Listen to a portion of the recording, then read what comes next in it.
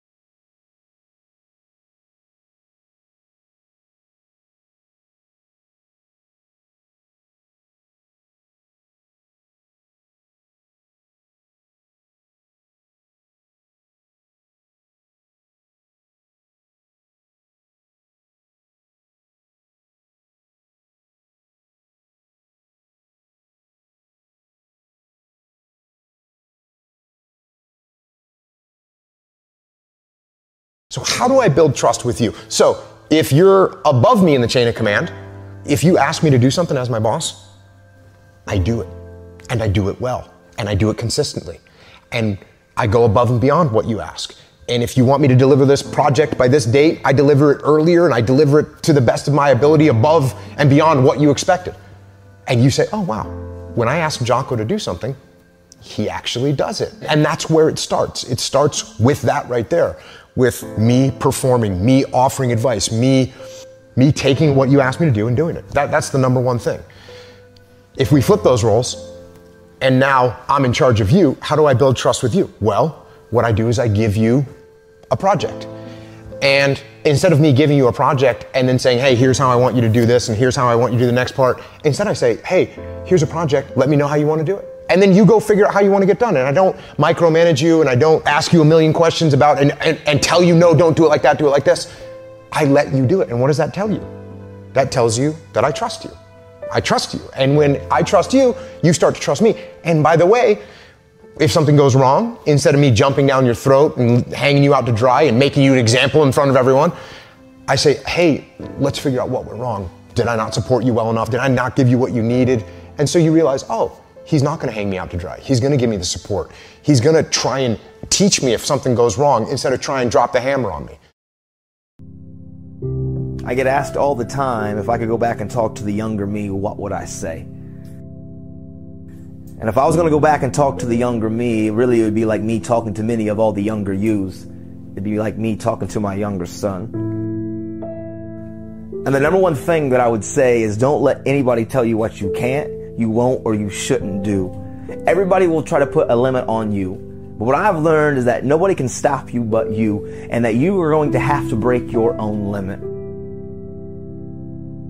I would encourage you not to minimalize the importance of your creativity, your ability to imagine, to dream big, the human mind, this thing called your imagination. It's where so many dreams and goals and unbelievable things have been achieved.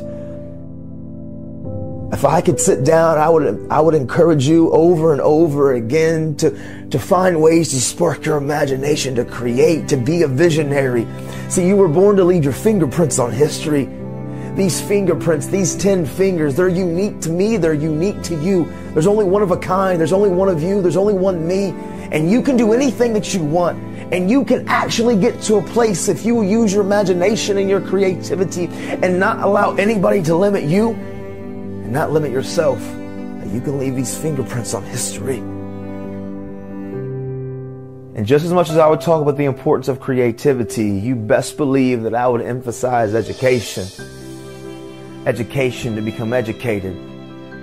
Educated to become an expert.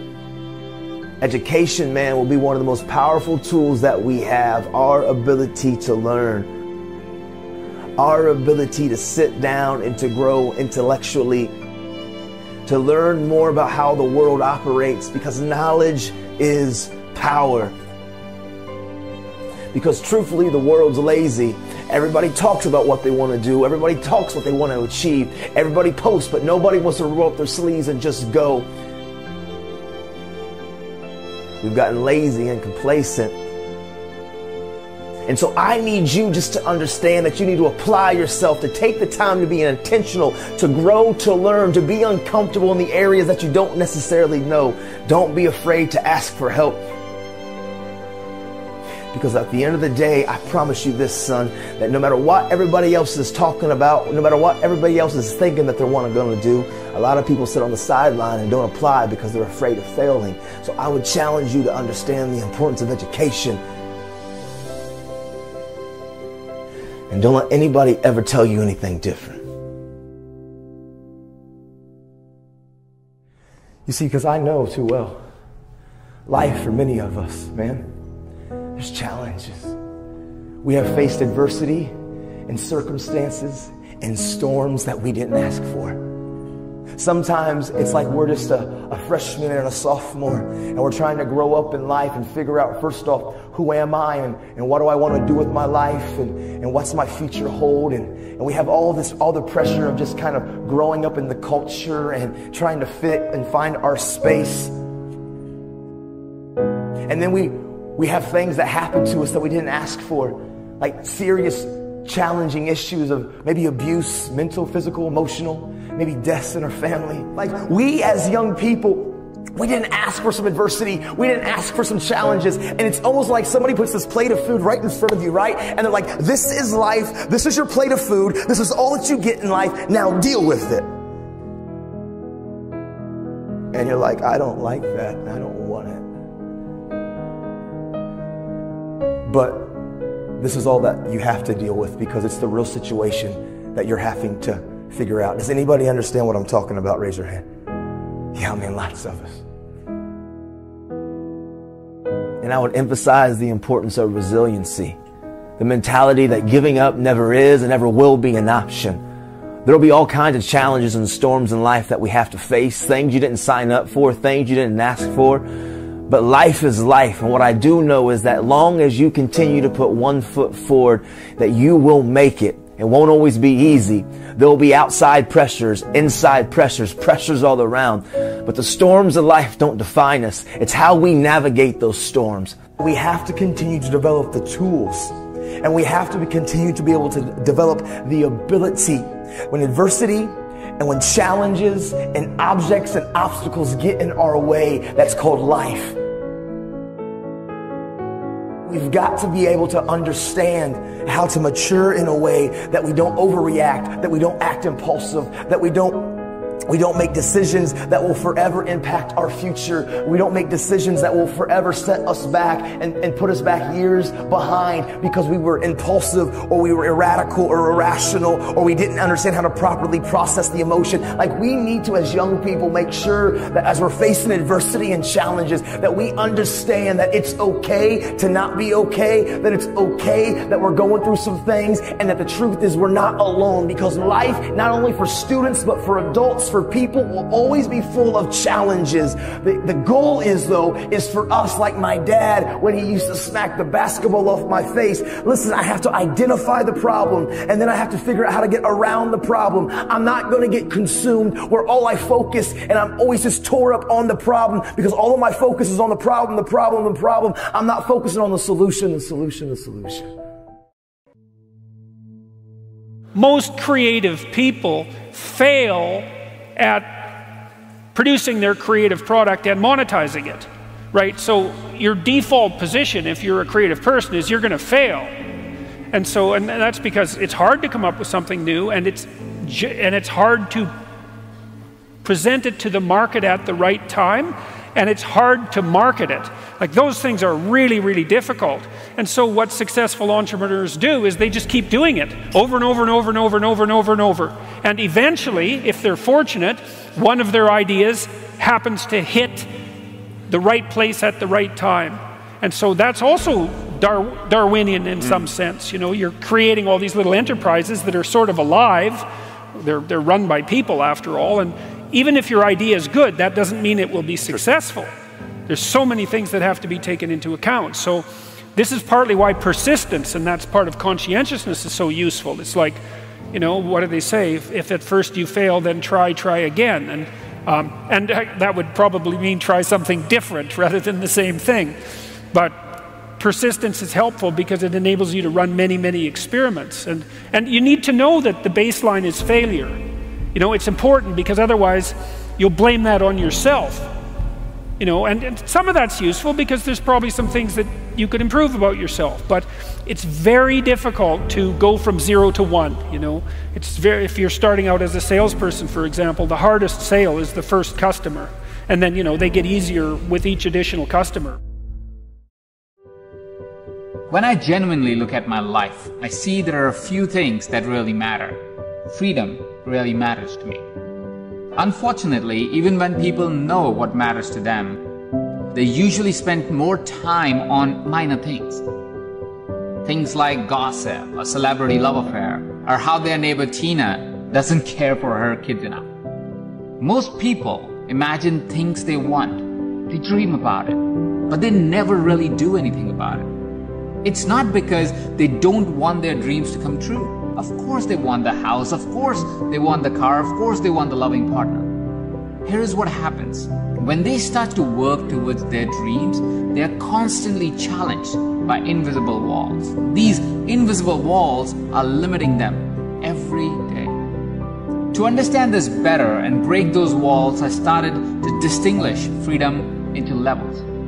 The first level of freedom is freedom from the past, from the conditioning, the future. My name is Sarah Wells, and I'm an Olympic athlete. I competed in the 400 meter hurdles at the London Olympics, and yeah.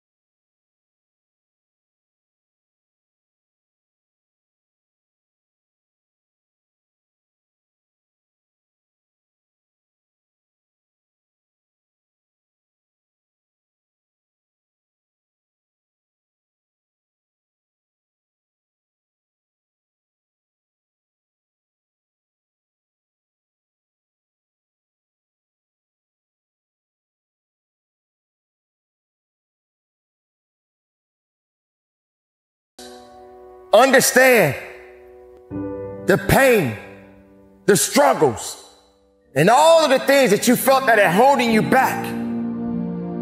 It's not going to hold you back for very long. Because as long as you are alive, you have to continue to move on. You have to continue to live.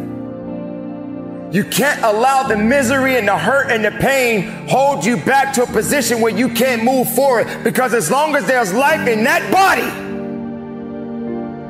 you got things that you need to get done.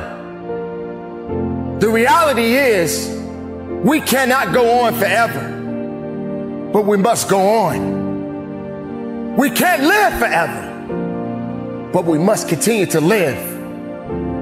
We must fight for something. Don't fight for nothing. Live and breathe and fight and believe and understand that it's not over for you. It's not over for you because you are still here. So make the most of your life.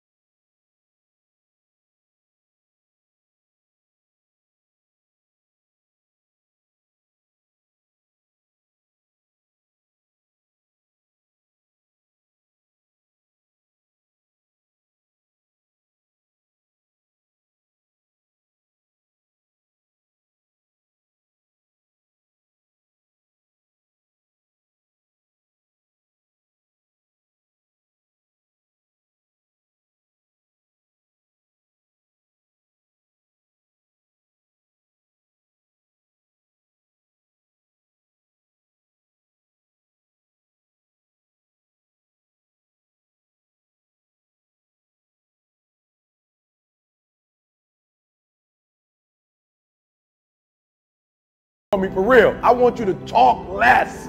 Listen to me. Talk less and grind more because I need you to make an investment in yourself.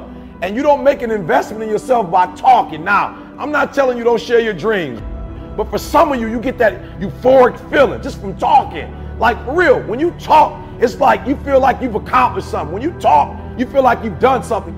All right, maybe your mama, maybe your best friend. I don't know. Maybe you need to look in the mirror and tell yourself, but do me a favor, shut up.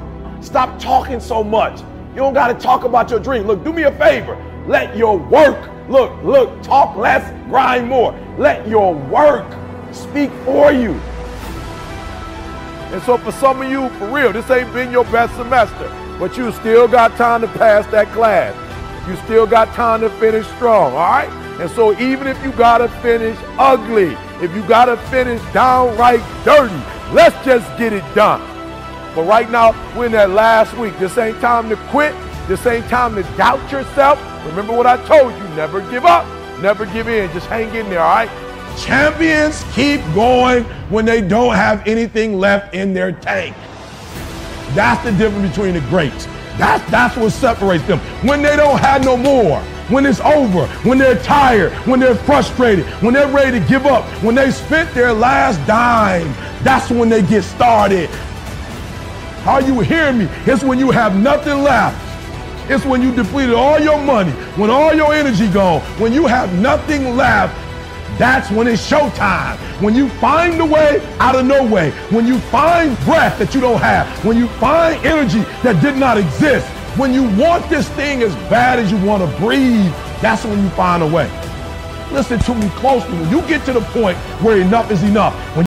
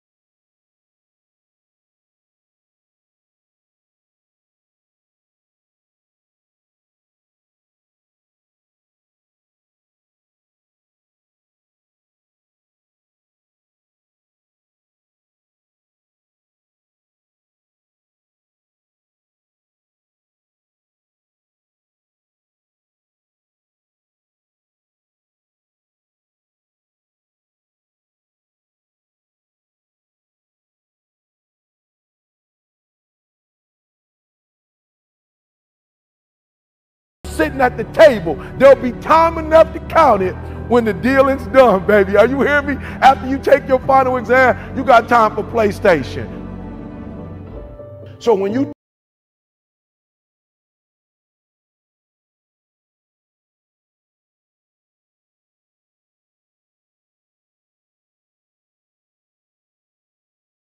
require thousands of actions. Hear me and hear me carefully. So do me a favor, shut up. Shut up. Stop talking. You talk too much. You talk entirely too much about your dreams. You talk too much about your goals. Say it once, say it twice, no more than three times, and get to work.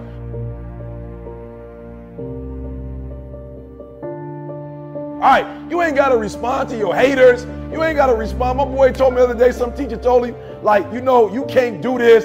You're not smart enough. You're not intelligent enough. Like, I don't even know why you decided to get in this program. Like, you can't do it. And my boy was talking to me. I'm like, look, shut up. I don't need to hear what my man said. That's on some negative stuff. Look, let your work speak for you. Like, quiet my man. Shut my man up. Shut him down. How do you shut him down? You don't shut him down by talking about what he said. You don't shut him down by talking about, you know, how you feel about what he said. You shut him down by working. So I need y'all to do me a huge favor. All right. Bruce Lee put it best.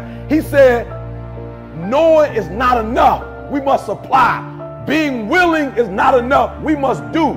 So I told you, second quarter living. We're not talking no more. Second quarter living is about application, all right? It's about taking it to the next level. It's not about talking, it's about doing. You got to be careful doing too much talking because whatever it is you say, whatever it is you say, I want to be an NBA All Star. I want to win a Super Bowl. When you open up your mouth and say that, there are, do you understand how many push ups you got to do? how many reps you got to do? Do you know how many stretches you got to do? Do you know how many plays you got to practice? When you say you want to be a lawyer, do you know how many cases you got to sit through? Do you know how many uh, books you got to read? Do you understand how many classes you have to take?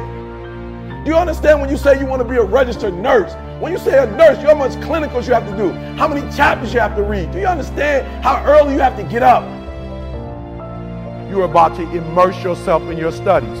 You will only concentrate. You will only focus on the things that are going to help you with your final examination. You're not doing any leisure right now. You will have time for the leisure later.